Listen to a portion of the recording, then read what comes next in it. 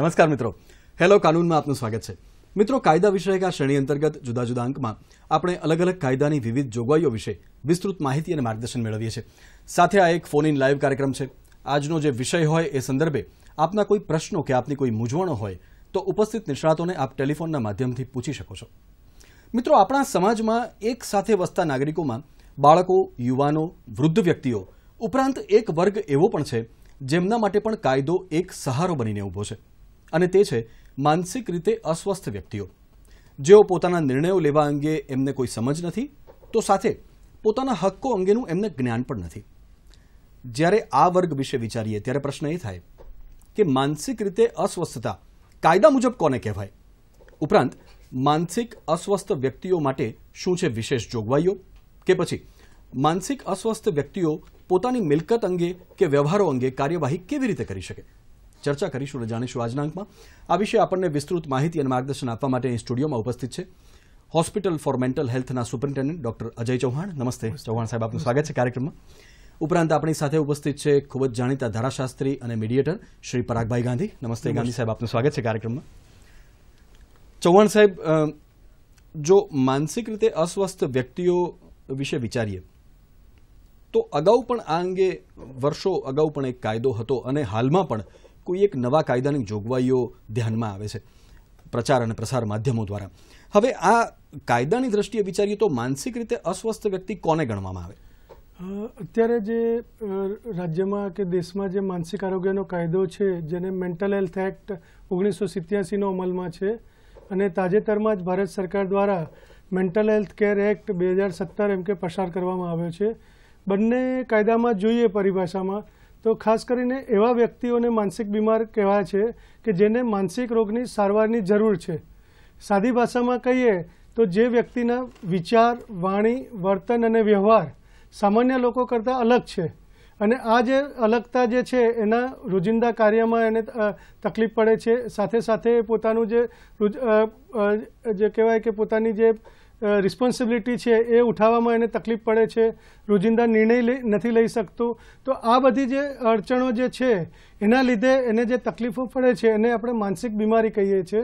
અને માનસિક બીમારીમાં ઘણા બધા પ્રકારો આવેલા છે. જેને ડિપ્રેશનથી માંડી આપણે schizophrenia bipolar mood disorder obsessive compulsive disorders phobia છે, ચિંતા રોગો છે, ઘણા બધા પ્રકારના માનસિક રોગો ઉપલબ્ધ છે અને દરેક રોગોને આપણે આ એક્ટમાં સમાવેશ કરવામાં આવેલો છે. જી. એટલે ચૌહાણ સાહેબ, જો આ સ્પેસિફિક આ કાયદાની વાતને વિચારીએ, તો અગાઉ જે કાયદો હતો એ પછી શા માટે અને કયા સુધારાઓ સાથે આ નવો કાયદો અમલમાં લાવવો પડ્યો? જે અગાઉ કાયદો હતો, એ સાદી ભાષામાં કહીએ તો કોઈપણ માનસિક બીમાર વ્યક્તિ જે છે, એના કેર અને કસ્ટોડી માટેનો હતો. કે કોઈપણ માનસિક બીમાર વ્યક્તિ હોય, તો એ બીમાર વ્યક્તિને સારવાર ક્યાં કરાવી? એના સારવાર માટેના જે સ્થળો છે, એના નોર્મ્સ નક્કી કરવામાં આવેલા. અને સાથે સાથે કેવી રીતે સારવાર કરવી? એની અલગ અલગ પદ્ધતિઓ હતી. સાથે એની જે પ્રોપર્ટી હોય, અથવા એના જે બીજા કોઈ પણ એમ કે હક્કો છે, તો એની જાળવણી કઈ રીતે કરવી, એના માટેનું પ્રોવિઝન હતું. જ્યારે નવો કાયદો જે બનાવ્યો છે, એ પ્યોરલી રાઇટ બેઝ કેર કર્યો છે. એટલે કે જે માનસિક બીમાર વ્યક્તિઓ જે છે, એમને પોતાના હક્કો છે અને એના હક્કો મુજબની ગુણવત્તાસભર સારવાર મળે, એના માટે એમ કે ભારત સરકારે ઘણા બધા એમ કે ચેન્જીસ કરવામાં આવ્યા છે. કે વ્યક્તિ છે, પોતે એમ કે પોતાની ટ્રીટમેન્ટ માટેનું ડિસિઝન લઈ શકે, એને કઈ જગ્યાએ સારવાર કરાવી, એ નક્કી કરી શકે, કઈ પથીમાં સારવાર કરાવી. એલોપથીમાં કરવી, આયુ- આયુર્વેદિકમાં કરવી, હોમિયોપેથીમાં કરવી, તો એનું પણ એમ કે પ્રોવિઝન ખાસ કરવામાં આવ્યું છે. અને સાથે સાથે એક ખાસ પ્રોવિઝન એવું કરવામાં આવ્યું છે કે અમુક પ્રોહિબિટેડ ટ્રીટમેન્ટ કે જે ટ્રીટમેન્ટ એવી છે કે જે વ્યક્તિ માટે હાનિકારક છે. તો એને નુકસાન ના થાય એન- એના માટેનું પણ ખાસ કાયદામાં જોગવાઈ કરવામાં આવેલી છે. જી જી. ગાંધી સાહેબ જ્યારે આ પ્રશ્નને વિચારીએ ત્યારે એક તકલીફ જે માનસિક બીમાર વ્યક્તિને હોય એ ચોક્કસ ધ્યાનમાં આવે કે જ્યારે એમને પોતાના રાઇટ્સ ક્લેમ કરવા છે પોતાના હક્કો મેળવવા છે તો એ પોતે તો એની એમને સમજ પણ નથી અને કાર્યવાહી પણ કરી શકવાના નથી. તો વર્ષો અગાઉથી અત્યાર સુધી એ અંગે શું કાર્યવાહી અમલમાં છે? માનસિક બીમાર વ્યક્તિ જો પોતે સક્ષમ ન હોય પોતાના રાઇટ મેળવવા માટે તો એ મેજિસ્ટ્રેટ કોર્ટમાં નોમિનેટેડ વ્યક્તિ કોઈ પણ હોય એની ફેમિલી મેમ્બર હોય કે ગવર્મેન્ટ પોતે પણ એ પોતે ગવર્મેન્ટમાં માણસો અગર ફેમિલી મેમ્બર્સ કોર્ટમાં જઈ મેજિસ્ટ્રેટ કોર્ટમાં જઈ અને એપ્લિકેશન કરી શકે એની એની કઈ રીતે સારવાર કરાવી છે કયું ડાયગ્નોસિસ કરવું છે ક્યાં સારવાર લેવી છે એમને. અને પ્રોપર્ટી પૂરતી વાત છે તો કોઈ પણ ડિસ્ટ્રિક્ટ કોર્ટ અગર સિવિલ કોર્ટમાં એ પ્રોપર્ટીનો રાઇટ ક્લેમ કરી શકે. એનો નોમિનેશન નોમિનેટેડ જે પર્સન હોય એ રાઇટ ક્લેમ કરી શકે. એમના ગાર્ડિયન તરીકે. જી. તો એ જે ગાર્ડિયન તરીકે ક્લેમ કરી શકે તો શું એ ગાર્ડિયન આપોઆપ ગણાય કે પછી એ અંગે એમણે પણ કોઈ કાર્યવાહી કરવી પડે? ગાર્ડિયન તરીકે કામ કરવા શું કોઈ પરવાનગી લેવી પડે? હા ગાર્ડિયન તરીકે પરવાનગી લેવા માટે એમને કોર્ટમાં જવું પડે કે મને આ વ્યક્તિ મારા સગા છે એમની આટલી પ્રોપર્ટીઝ છે એ પ્રોપર્ટીનું એડમિનિસ્ટ્રેશન કરવું છે અને એ પોતે ડિસિઝન લઈ શકે એમ નથી. અને એમના હિતમાં મારે કરવું છે. એટલે જો- જાતે અરજી કરે એફિડેવિટ ફાઇલ કરે કોર્ટ વેરીફાઈ કરે કે એ પોતે સક્ષમ છે કે નહીં, એ પ્રોપર્ટી એમની માલિકીની છે, એનો બગાડ નહીં થાય, અને નક્કી કરીને કોર્ટ એને ગાર્ડિયન તરીકે એપોઇન્ટમેન્ટ આપે અને ગાર્ડિયન એનું એડમિનિસ્ટ્રેશન પ્રોપર્ટીનું કરી શકે, એનું વેચાણ કરી શકે, સિવાય કે એનું મોર્ગેજ કે એ ચાર્જ ઊભો ના કરી શકે એનું. પણ ટૂંકમાં બીમાર વ્યક્તિની, માનસિક બીમાર વ્યક્તિના હિતમાં જે પણ કાર્યવાહી કરવી પડે, એના એના માટે કોર્ટનો ઓર્ડર લેવા પડે. ગાંધી સાહેબ, અગાઉનો જે કાયદો હતો એ જેમ એની કેર રાખવા બાબતે અથવા કસ્ટડી રાખવા બાબતની જોગવાઈઓ હતી. અને હવે કેટલાક અધિકાર સ્વરૂપેની જોગવાઈઓ સાથે આ કાયદો અસ્તિત્વમાં આવ્યો છે. બરાબર આપ એના મહત્વના જે જોગવાઈઓ હશે એને કેવી રીતે મૂલવો છો? હું માનું છું કે દુનિયામાં ચાલીસ ટકા રોગો તો એવા છે કે જે માનસિક બીમારીથી ઊભા થયા છે. અને દસથી પંદર ટકા લોકો એવા છે કે જે સારવાર માટે જાય છે. કારણ કે એક- ધબ્બો એવું એવું માનતા હોય છે કે આ એક ધબ્બો છે મારા જીવનમાં એટલે સારવાર માટે જતા જ નથી હોતા એટલે એ સારવાર માટે જવા માટે એને અટકાય છે. એટલે હું એવું માનું છું કે દરેક વ્યક્તિ આવી કોઈ પણ માનસિક બીમાર વ્યક્તિ હોય એને વિના સંકોચે વિના સંકોચે કોઈ પણ ડૉક્ટરનો હોસ્પિટલનો. હવે ગવર્મેન્ટે આ નવા કાયદા પ્રમાણે ફૂલી પૂરેપૂરી ફેસિલિટી આપી છે અને ફંડથી માંડીને કેર કેવી રીતે કરવી એનું સોશિયલ સ્ટેટસ કેવી રીતે જળવાય એની ડિગ્નિટી કેવી રીતે જળવાય રાઇટ્સ બેઝિક રાઇટ્સ એના કેવી રીતે પ્રોટેક્ટ થાય એ બધા માટે પૂરતી કેર આ કાયદામાં લેવામાં આવી છે. એટલે ચોક્કસપણે આ કાયદાનો અમલ કરવા માટે અને આનો લાભ લેવા માટે એને કોઈ પણ હોસ્પિટલનો જાતે પણ આ વ્યક્તિ એવું નથી કે કોઈ વ્યક્તિ મારફતે કંઈ કંઈક રિપ્રેઝેન્ટેટિવ મારફતે કોર્ટમાં જઈ શકે હોસ્પિટલમાં જઈ શકે. એ જાતે પણ એપ્રોચ થઈ શકે પોતાની બીમારી માટે અને એ એ પોતે પણ સારવાર લઈ શકે છે. જી જી. ચૌહાણ સાહેબ, આપે કહ્યું કે હવે એ કયા પ્રકારની સારવાર એને આપવી, એ પણ એની પણ ઘણી બધી વ્યવસ્થા કરવામાં આવી છે અને જોગવાઈ સ્વરૂપે પણ એની વ્યવસ્થા છે. તો જે વર્ષો પુરાણી જે પદ્ધતિઓ હશે અને આજના સમયમાં આધુનિક બધી સગવડો, તો સારવારની પદ્ધતિમાં કેટલો વધારે સુધારો થયો છે અને સાથે સાથે એ અંગે કાયદાની જોગવાઈઓ કેટલી સપોર્ટ કરે છે? સારવારની પદ્ધતિની વાત કરું તો એમાં ઘણો બધો સુધારો આવ્યો છે. કે લેટેસ્ટ મેડિસિન્સ આવેલી છે, એ સિવાય કાઉન્સેલિંગ થેરાપી છે રિહેબિલેશન માટેની પદ્ધતિઓ છે. સાથે સાથે આપણી જે ટ્રેડિશનલ આયુષ સિસ્ટમ જે છે આયુર્વેદ કે હોમિયોપેથી કે યુનાની સિસ્ટમ્સ એમાં પણ એમ કે માનસિક આરોગ્યનું ખાસ જોગવાઈ કરેલું છે અને એટલા માટે જ આજે નવો કાયદો જે ભારત સરકારે બનાવ્યો, એમાં એ લોકોએ જે માનસિક રોગના નિષ્ણાત તરીકે એલોપેથીના એમડી સાયકેટ્રિસ્ટને તો સમાવેશ કર્યો જ છે. પણ હોમિયોપેથીમાં પણ જે મેન્ટલ હેલ્થનું સ્પેશિયલાઇઝેશન કરેલું હોય આયુર્વેદિકમાં જે મેન્ટલ હેલ્થનું સ્પેશિયલાઇઝેશન કર્યું હોય એને પણ મેન્ટલ હેલ્થ પ્રોફેશનલ્સની ડેફિનેશનમાં લીધેલું છે. એ સાથે સાથે જે દરેક હોસ્પિટલો જે છે એના માટે એક મિનિમમ સ્ટાન્ડર્ડ્સ ઓફ કેર એક નક્કી કર્યા છે કે ભાઈ દરેક હોસ્પિટલમાં કેવા પ્રકારની સગવડો હોવી જોઈએ. કે ભાઈ એના માટે એમ કે એને ઇસીટીની સારવારની સગવડ હોવી જોઈએ ઓપીડીબીએસ સારવારની સુવિધા હોવી જોઈએ, ઇન્ડોર સારવારની સુવિધા હોવી જોઈએ રિહેબિલેશનની સુવિધા હોવી જોઈએ. સાથે સાથે વ્યક્તિ જે છે કે સાજો થઈ અને સમાજમાં પોતાનું મૂળ સ્વરૂપે જાય અને પોતે એક ડિગ્નિટી ભરી અથવા પોતાના હક મુજબનું જીવન જીવી શકે, એના માટેનું પણ ખાસ કાયદામાં જોગવાઈ કરેલું છે. અને એટલા માટે જ આ એક્ટમાં આપણે એવું કહીએ કે અત્યાર સુધીમાં દેશમાં એમ કે રાઇટ ટુ હેલ્થકેર નથી પણ રાઇટ ટુ મેન્ટલ હેલ્થકેર આ નવા કાયદાથી એમ કે અમલમાં આવશે કે દરેક લોકોને માનસિક બીમારીની સારવાર માટેનો હક છે અને એની જે રિસ્પોન્સિબિલિટી છે એ સરકારના સિરે આપેલી છે કે સરકારે એનું પ્રોવિઝન કરવું. એટલે માત્ર બીમારીની સારવાર જ નહીં પણ ફરી એકવાર સમાજમાં એ વ્યક્તિનું પુનઃસ્થાપન થાય. એ અંગેની પણ આખી પ્રયત્નની વાત છે એમાં. આપણી સાથે ભાવનગરના એક દર્શક મિત્ર હિતેશભાઈ મારું જોડાઈ રહ્યા છે. જી હિતેશભાઈ નમસ્તે. આપનો પ્રશ્ન જણાવો એમાં એવું છે કે સર કે હા જી હું ભાવનગરથી બોલું છું. જી જી. તો મારો પ્રશ્ન એવો છે કે હું છે નાના ખોખરા પ્રાથમિક શાળામાં સંચાલક તરીકે મધ્યાહન મધ્યાહન ભોજનમાં ફરજ બજાવું છું. જી. તો એમાં એવું છે કે મને માનસિક ટોર્ચર કરે છે ગામ લોકો. જી. અને એમાં કોઈ કાનૂની પગલા માટે મારી જાણવું છે. ગાંધી સાહેબ આ એક માનસિક આરોગ્યની જ્યારે વાત આવે છે તો એક એવી વ્યક્તિનો ટેલિફોન છે એક એવી વ્યક્તિ એક એવા દર્શકનો એક પ્રશ્ન છે કે જેમને માનસિક રીતે ટોર્ચર કરવામાં આવી રહ્યા છે. તો જ્યારે કોઈ માનસિક ત્રાસ આપી રહ્યું હોય તો એમની પાસે શું શું ઉપાય? જો કે આપણા આ સબ્જેક્ટની બહાર છે માનસિક બીમાર વ્યક્તિને શું લાભ મળી શકે છે એના માટેનું છે. પણ છતાં આ હું કહી શકું કે ચોક્કસ એમને ટોર્ચર જો કરતા હોય કોઈ પણ તો એ ક્રિમિનલ રાહે પગલાં લઈ શકે છે. જે વ્યક્તિ ટોર્ચર કરતું હોય, એ કયા પ્રકારનું ટોર્ચરિંગ કરે છે, એનાથી શું એને હાનિ પહોંચે છે, એ પ્રમાણે એ કોમ્પેન્સેશનનો અગર એને સજા કરાવવાનો, તો કોઈ પણ કાયદામાં ઘણા બધા જોગવાઈઓ છે, એ પ્રમાણે ક્રિમિનલ કોર્ટમાં સિવિલ કોર્ટમાં એ અપ્રોચ કરી શકે છે, કોઈ પણ યોગ્ય નિષ્ણાતની મદદ લઈને. જી ચૌહાણ સાહેબ, જે વ્યક્તિને માનસિક બીમારી છે, એને પોતાને સમજ નથી હોતી. તો જ્યારે એની સારવાર શરૂ કરવામાં આવે, અથવા કોઈ જુદા જુદા પ્રકારની સારવારોના ઓપ્શન આપવામાં આવે તો એ વખતે આપ કોને મધ્યસ્થી તરીકે સંપર્ક કરો છો? એટલે શું એના કોઈ કુટુંબની વ્યક્તિ પાસે એ અંગેની પરવાનગી લો છો કે કેમ? સામાન્ય રીતે એવી લોકોની માન્યતા છે કે માનસિક બીમાર વ્યક્તિઓને સમજ નથી પડતી. પણ હકીકત એવું નથી. એંસી ટકા માનસિક બીમાર વ્યક્તિઓ પોતાના ડિસિઝન લઈ શકે છે અથવા પોતાના માટે શું સારું શું ખરાબ એ નક્કી કરી શકે છે. પણ આપણા દેશમાં આપણે એવું કહી શકાય કે ફેમિલી મેજર ડિસિઝન ટેકર હોય છે. અને સામાન્ય રીતે જ્યારે અમારી પાસે દર્દીઓ આવે, ત્યારે અમે વ્યક્તિ અને એના ફેમિલી મેમ્બર્સ બંનેની સાથે ચર્ચા કરી અને એના માટે બેસ્ટ ઓપ્શન શું હોય છે એ પ્રમાણેની સારવાર આપતા હોઈએ છીએ. જ્યારે વ્યક્તિ તીવ્ર માનસિક બીમારીથી પીડિત હોય અથવા એને એ વખતે પોતાને એમ કે ડિસિઝન લેવાની ક્ષમતા ન હોય અથવા પોતાના જે રોગ માટેની અવેરનેસ ન હોય ત્યારે ખાસ કરીને એના ફેમિલી મેમ્બર્સ જો ફેમિલી મેમ્બર્સ ના હોય તો લીગલી એક્સેપ્ટેડ જે એના ગાર્ડિયન્સ છે એ લઈ શકે. અને જો એ પણ ના હોય તો આપણે મેજિસ્ટ્રેટ કોર્ટ પાસેથી એના ગાર્ડિયન્સને નોમિનેટ કરી અથવા પછી હોસ્પિટલના જે ડોક્ટર્સ છે એને ગુડ ફેથમાં ડિસિઝન લઈ શકે એમ. જી જી. આપણી સાથે બનાસકાંઠાના એક દર્શક મિત્ર સરજીભાઈ જોડાઈ રહ્યા છે. જી સરજીભાઈ નમસ્તે. આપનો પ્રશ્ન જણાવો. સરજીભાઈ આપનો પ્રશ્ન જણાવો. હવે સાહેબ મારો પ્રશ્ન એવો હતો કે હું ખેડૂત છું મારે ચાર એકર જમીન છે. જી. હા એટલે ચાર એકર જમીન છે હું ખેડૂત છું. જી. બનાસકાંઠા લાખણી તાલુકાની બોર છું એટલે સાહેબ બે બોર બગડી ગયા હતા.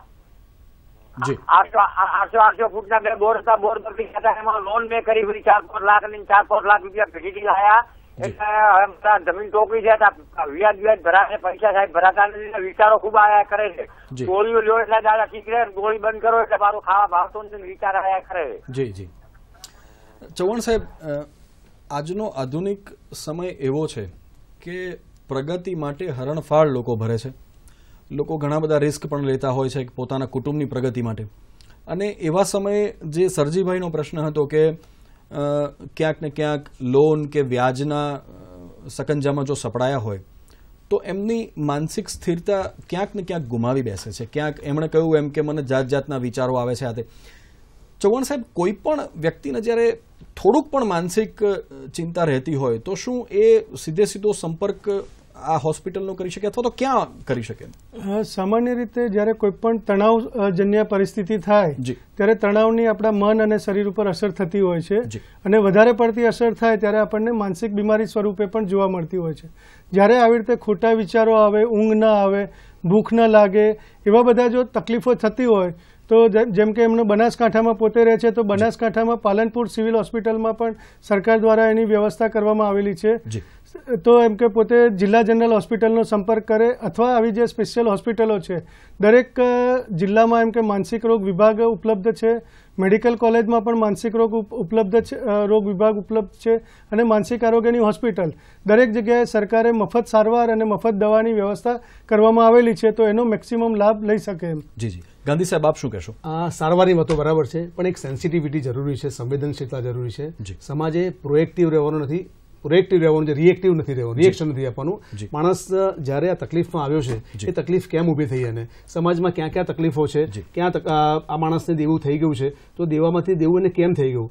અને એવા કારણ સુધી અને એમાંથી મૂળથી જ બહાર આવે એના રૂટ કોઝમાંથી બહાર આવે. પછી તમે આત્મહત્યા કોઈ માણસ કરીને પછી રિએક્શન આપો દેટ ઇઝ નોટ પ્રોપર આ કાયદાનો હેતુ એવું છે કે જ્યારે માણસને તકલીફ ખરી ઊભી છે નેગેટિવ વિચાર આવે છે આ સુસાઇડનો વિચાર આવે છે કોઈ તકલીફ બીજું આવે છે ફાઇનાન્શિયલ પ્રોબ્લેમ આવે છે ત્યારે એમાંથી માણસને કઈ રીતે બહાર લાવો? માનસિક બીમાર જ ના થાય. માનસિક બીમાર થાય પછી સારવારની વાત બરાબર છે. એટલે રિએક્શન આપવા કરતાં પ્રોએક્ટિવ થવું વધારે સારું છે. જી જી. આપણી સાથે મોરબીના એક દર્શક મિત્ર ખોડાભાઈ જોડાઈ રહ્યા છે. જી ખોડાભાઈ નમસ્તે. હા. આપનો પ્રશ્ન જણાવો. નમસ્કાર. જી. હવે આપણે માનસિક વ્યક્તિની સારવાર આપણે કઈ જગ્યાએ કરાવી શકીએ? અને બીજો પ્રશ્ન. કે માનસિક વ્યક્તિ માટે કાંઈ યોજનાઓ જે ચાલી રહી હોય તો તેના વિશે માર્ગદર્શન જોતું જી ખોડાભાઈ ક્યાં સારવાર થઈ શકે એ તો ચોક્કસ ચૌહાણ સાહેબે આપ- આપ- આપણને સૌને હમણાં જણાવ્યું કે દરેક જિલ્લામાં જે સરકારી હોસ્પિટલ હોય એમાં ચોક્કસ આના વિભાગ છે. પણ ચૌહાણ સાહેબ એમનો જે પ્રશ્ન છે એમાં એક બીજો યોજનાવાળી વાત આવે છે. તો શું આ જે આખી માનસિક બીમારીની સારવાર છે એના માટે નાગરિકોએ કોઈ ખર્ચ કરવો પડે? અ, રાજ્ય સરકાર દ્વારા દરેક જિલ્લામાં જિલ્લા માનસિક આરોગ્ય કાર્યક્રમ ચાલે છે અને આ જિલ્લા માનસિક આરોગ્ય કાર્યક્રમમાં જિલ્લા હોસ્પિટલો અને તાલુકા લેવલે જે સામૂહિક આરોગ્ય કેન્દ્રો છે, ત્યાં આગળ માનસિક રોગની સેવાની વ્યવસ્થા કરેલી છે કે જેથી કરીને વ્યક્તિને ઓછામાં ઓછા ટ્રાવેલિંગથી એમ કે ત્યાં એમને સારવાર પોતાના ઘરના આંગણે જ અથવા ઘરની નજીક મળી શકે એ પ્રકારની વ્યવસ્થા કરેલી છે. સાથે સાથે આ કાર્યક્રમમાં એમ કે મફત દવાનું પણ આયોજન કરેલું છે કે દરેક જિલ્લા હોસ્પિટલો અને તાલુકા હોસ્પિટલોમાં એમ કે એની સાર- સારવારની દવા પણ મફત મળી રહે એ માટેની યોજનાઓ છે. સાથે સાથે જો માનસિક બીમાર વ્યક્તિ એમ કે તીવ્ર માનસિક બીમારીથી પીડિત હોય અને પોતાનું એમ કે પ્રોડક્ટિવ ના હોય તો એને રિહેબિલેશન માટે જે માનસિક આરોગ્યની હોસ્પિટલો છે અથવા અમુક જે ગ્રાન્ટીનેડ સંસ્થાઓ છે, ત્યાં રિહેબિલેશન હોમ અથવા ડે કેર સેન્ટરો ચાલે છે. ત્યાં પણ એમ કે એ લોકો તાલીમ માટે અને તાલીમ બાદ એને ઉત્પાદકીય, એમ કે પ્રવૃત્તિ માટે મોકલી શકે કે જેથી કરીને એ વ્યક્તિ સાજો થઈને સમાજમાં ભળી શકે જી જી. ચૌહાણ સાહેબ અને ગાંધી સાહેબ, આપની સાથેની ચર્ચાનો દોર જારી રાખીશું એક નાના વિરામ બાદ. દર્શક મિત્રો, જોતા જ રહેશો કાર્યક્રમ હેલો કાનૂન.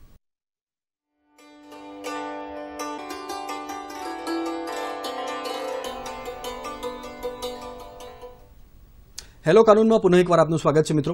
આજે આપણે ચર્ચા કરી રહ્યા છીએ માનસિક આરોગ્ય અને કાયદો એ વિષય પર અને આ વિશે આપણને વિસ્તૃત માહિતી અને માર્ગદર્શન આપી રહ્યા છે. હોસ્પિટલ ફોર મેન્ટલ હેલ્થના સુપ્રિન્ટેન્ડન્ટ ડોક્ટર અજય ચૌહાણ અને જાણીતા ધારાશાસ્ત્રી અને મીડિયેટર શ્રી પરાગભાઈ ગાંધી. ચૌહાણ સાહેબ, જે માનસિક રીતે અસ્વસ્થ વ્યક્તિ છે, એ વ્યક્તિઓને જ્યાં એમને પોતાને સમજમાં ન હોય કે એમણે શું કરવું, અથવા એ વ્યક્તિઓ જાહેરમાં પણ જો જણાઈ આવે, તો ખૂબ જ સુંદર કાર્ય જે તમામ રાજ્ય સરકાર અને કેન્દ્ર સરકાર દ્વારા થતું હોય. એવી જ રીતે એમના જે કાનૂની હક્કો એમને મળી રહે અને એમનું જે પુનઃસ્થાપન આપે કહ્યું એ પ્રમાણે થઈ રહે, એના માટે નેશનલ જે લીગલ એડની આખી સર્વિસીસ છે, એ પણ એટલી જ કાળજીપૂર્વકનું કાર્ય કરે છે. અને એક ખૂબ જ જે સચોટ અને સાચો કિસ્સો હતો કે જેમાં એ વ્યક્તિઓને એમના હક્કોનું પુનઃસ્થાપન થાય એવો પ્રયત્ન કરવામાં આવ્યો, એનું પણ ફિલ્માંકન કરવામાં આવ્યું છે. આવો જોઈએ એક એવો સ- સાચો કિસ્સો तरतीब से बसाया हुआ एक खूबसूरत कॉस्मोपॉलिटन शहर लेकिन यही शहर कभी कभी कितना अनजान सा हो जाता है भरे शहर में अपने आप को हम कितना अकेला पाने लगते हैं खासकर जब मानसिक स्तर पर हम विक्षिप्त हों ये कहानी चंडीगढ़ की ऐसी ही एक पढ़ी लिखी महिला गोविंदर कौर की है, जो रेलवे स्टेशन के प्लेटफॉर्म पर बेसहारा हालत में पाई गई थी। जब ये मामला कानूनी सेवा प्राधिकरण के अधिकारियों की जानकारी में आया, तब उनके स्वयं सेवक तुरंत गोविंदर को रेलवे स्टेशन से ले आए। रेलवे स्टेशन से लेकर आए और उनका दाखिला सरकारी अस्पताल में करवा दिया।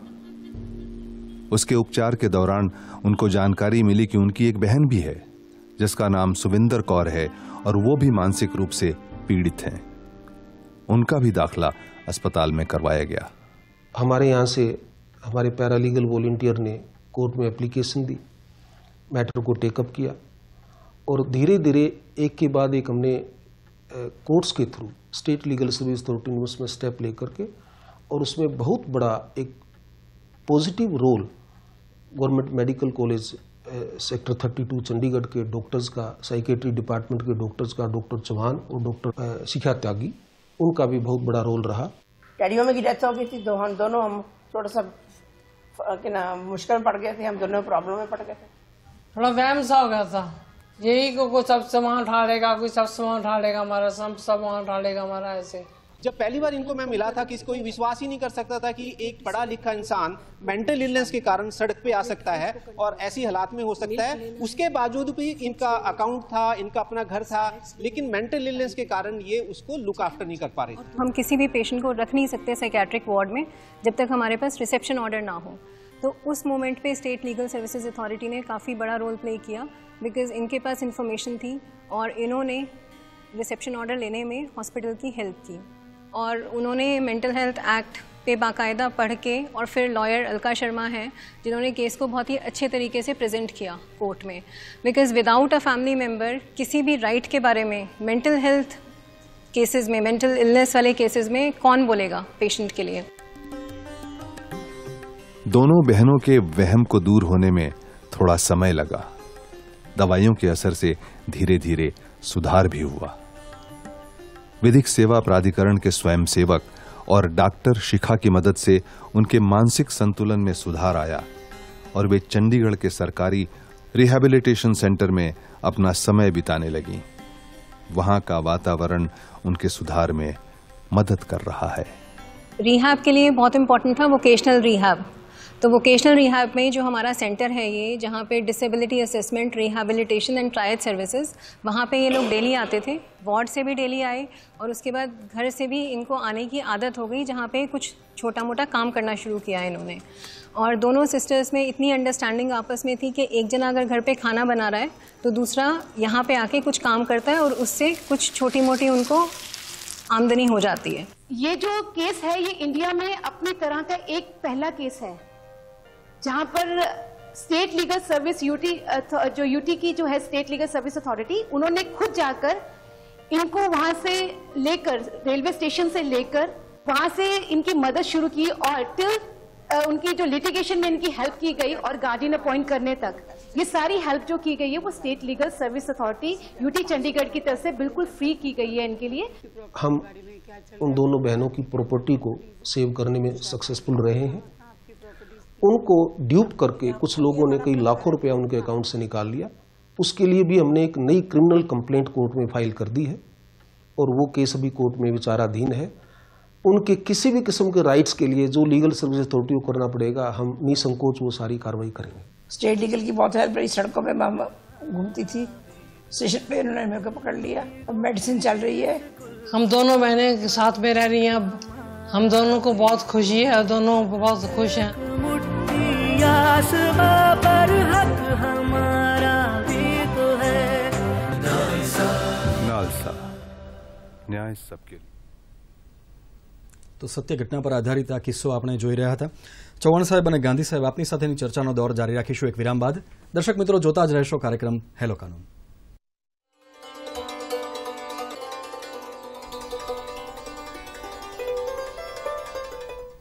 હેલો કાનૂનમાં પુનઃ એકવાર આપનું સ્વાગત છે મિત્રો. આજે આપણે ચર્ચા કરી રહ્યા છીએ માનસિક આરોગ્ય અને કાયદો એ વિષય પર. ચૌહાણ સાહેબ જે એક સત્ય ઘટના પર આધારિત કિસ્સો આપણે જોયો તો શું રાજ્ય સ્તરે પણ આવી કોઈ યોજના ખરી? રાજ્ય સ્તરે પણ આવી એક યોજના બે હજાર અગિયારથી ચાલુ કરેલી છે. જેમાં નામદાર ચીફ જસ્ટિસ સાહેબ હાઈકોર્ટના સૂચનના આધારે Gujarat legal service authority police commissioner Ahmedabad અને માનસિક આરોગ્યની હોસ્પિટલના સંયુક્ત ઉપક્રમે આપણે અમદાવાદ શહેરમાં પહેલાં એક આવી રીતે રસ્તે રખડતા, ભટકતા અથવા વિચલિત માનસિક બીમાર દર્દીઓ છે, એને રેસ્ક્યુ કરી સારવાર માટે હોસ્પિટલમાં દાખલ કરીને કૌટુંબિક પુનઃસ્થાપન માટેની યોજના ચાલુ કરી છે, જે અત્યારે અમદાવાદ સિવાય વડોદરા, જામનગર અને ભુજમાં પણ કાર્યરત છે. સાથે સાથે આવા જે, ખાસ કરીને જે માનસિક બીમાર દર્દીઓ છે, જેમના હક્કો માટે જે એમને જજુમવું પડે છે, એના માટે પણ જે આપણા જિલ્લા કાનૂની સેવા સત્તા મંડળો છે, એ એમ કે પ્રોએક્ટિવલી એમાં રસ લઈ અને એમના પ્રોપર્ટી માટેના ઇસ્યુ છે, એમના હક્કો માટેના ઇસ્યુ છે, અથવા એમના કેર એન્ડ કસ્ટડી માટેના ઇસ્યુ પણ એમ કે લીગલી લઈ અને એમને હક મળે એ માટેના પ્રયત્નો કરે છે જી જી. ચૌહાણ સાહેબ ઘણા બધા વર્ષોથી જો જુદા જુદા માધ્યમોમાં સાંભળવામાં આવે તો બે શબ્દો સાંભળવા મળે છે. મંદબુદ્ધિ વ્યક્તિ અને માનસિક બીમાર વ્યક્તિ. તો કાયદાકીય રીતે અને આ સારવારની દ્રષ્ટિએ આમાં શું ભેદ છે? માનસિક બીમારી એટલે કે કોઈપણ વ્યક્તિને કોઈપણ સમયે બીમારી થાય જેમ આપણને શારીરિક બીમારી થાય છે એમ બીમારી થાય. અને બીમારી છે તો એનો ઈલાજ છે. અને ઈલાજ છે એટલે વ્યક્તિ સ્વસ્થ થઈ શકે. જ્યારે મંદબુદ્ધિ એક પરિસ્થિતિ છે કે વ્યક્તિ જન્મે ત્યારથી લઈને એના જે મગજનો વિકાસ છે એ અટકી જાય. અને એના લીધે એને જે અમુક વસ્તુ જે છે એને સમજવામાં છે એને કોર્ડિનેશનમાં કે એમાં તકલીફ પડતી હોય છે. એટલે મંદબુદ્ધિ એ બીમારી નથી પણ પરિસ્થિતિ છે. તો આ મેન્ટલ હેલ્થ કેર એક્ટ જે બે હજાર સત્તર છે જેમાં આટલા બધા સરસ રીતે અધિકારો બક્ષવામાં આવે છે. શું એમાં મંદબુદ્ધિની જે વ્યક્તિઓ હોય એનો પણ સમાવેશ થાય છે? ના મેન્ટલ હેલ્થ કેર એક્ટમાં મંદબુદ્ધિની વ્યક્તિનો સમાવેશ નથી કરેલો પણ મંદબુદ્ધિની વ્યક્તિના જે હકો માટે right of person with disability act બે હજાર સોળનો છે એમાં એને સમાવેશ કરવામાં આવેલો છે કે જે દિવ્યાંગ વ્યક્તિઓને જે હકો મળે એ બધા જ હક્કો મંદબુદ્ધિની વ્યક્તિને મળવા પાત્ર છે. જી જી. ગાંધી સાહેબ આપે તો એક મીડિયેટર તરીકે એક ધારાશાસ્ત્રી તરીકે આ ઘણી બધી પરિસ્થિતિનું અવલોકન ખૂબ બહોળા પ્રમાણમાં કર્યું છે. કાયદાના હક્કો મેળવવા એટલે કાયદાકીય જોગવાઈઓ પ્રમાણે હક્કો મેળવવા અને સાથે સાથે સમાજ જો આ બાબતે જાગૃત થાય તો એ બંને પરિસ્થિતિને સાથે મેળવીને આપ શું કહેશો આ કાયદા વિશે? કાયદાનો ઓછામાં ઓછો અમલ કરવો પડે અને જરૂર ઊભી ના થાય એવું ખરેખર તો વ્યક્તિ પોતે એનું ફેમિલી અને સમાજ આ ત્રણેયની પોતાની જવાબદારી છે. વ્યક્તિ પોતે એ પણ એક પોઝિટિવ એટીટ્યુડ સાથે પોઝિટિવ થિંકિંગ સાથે જીવવું જોઈએ. ક્યાંય પણ કોઈ પણ મુશ્કેલી આવે નિષ્ણાતને સલાહ લો. સો ફેમિલી એ સપોર્ટ પૂરેપૂરો કરવો જોઈએ. એની કોઈ પણ તકલીફોમાં રહે એ માણસ કંઈ વાતચીત ના કરતો હોય તો એને પૂછો કે શું તકલીફ છે તમને? ફાઇનાન્શિયલી કે સોશિયલી અને સોસાયટીની પણ એટલી જવાબદારી છે કે સોસાયટી પણ એને એવી પરિસ્થિતિ ઉપસ્થિત ના કરે કે જેથી કારણે એ એવી મુશ્કેલીઓ મૂકી જાય કે ક્યાંથી બહાર ના આવી શકે. એટલે એક વાતાવરણ એવું ઊભું થાય. તેમ આપણા માનનીય વડાપ્રધાન શ્રી નરેન્દ્રભાઈ મોદીએ એક યોગા દિવસ કરવા માટે આખા વિશ્વને મનાવી લીધું. યોગા બેઝિકલી શું છે? એક માનસિક શાંતિ માટે કે માનસિક પરિસ્થિતિ સ્ટ્રેસ તમારો દૂર થાય એના માટે એક પ્રયત્ન શરૂ કર્યો કે એ કોઈ પણ માનસિક લેવલે તમે એક સારી રીતે જીવી શકો.